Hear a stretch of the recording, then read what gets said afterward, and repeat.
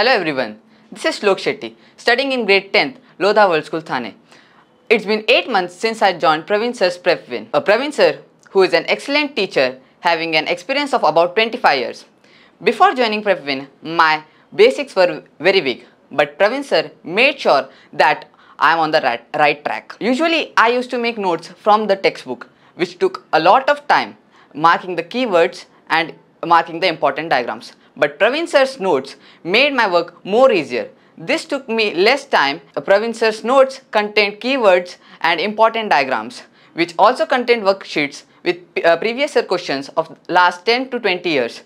Pravin Sir always used to take tests after the chapter is over.